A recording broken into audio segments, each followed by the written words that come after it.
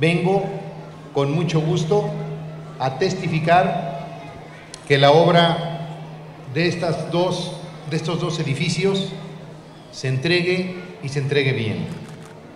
Como ya se ha comentado también, hay una gran cantidad de obra que se está haciendo en escuelas. En Chilpancingo, ya Jorge Alcocer dio una reseña de todo lo que se está haciendo. Es histórico. Una de las principales acciones que se han venido realizando en todo el estado es rehabilitar escuelas, construir escuelas nuevas. De manera muy especial a todas las maestras, a todos los maestros. Vengo también a expresarles mi reconocimiento a todos los maestros que todos los días hacen su mejor esfuerzo para educar a los niños en Guerrero y en México.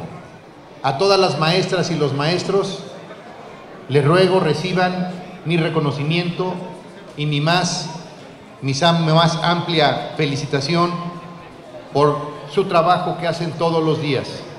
El trabajo de un maestro y de una maestra es un trabajo esforzado, es un trabajo de entrega que se requiere vocación.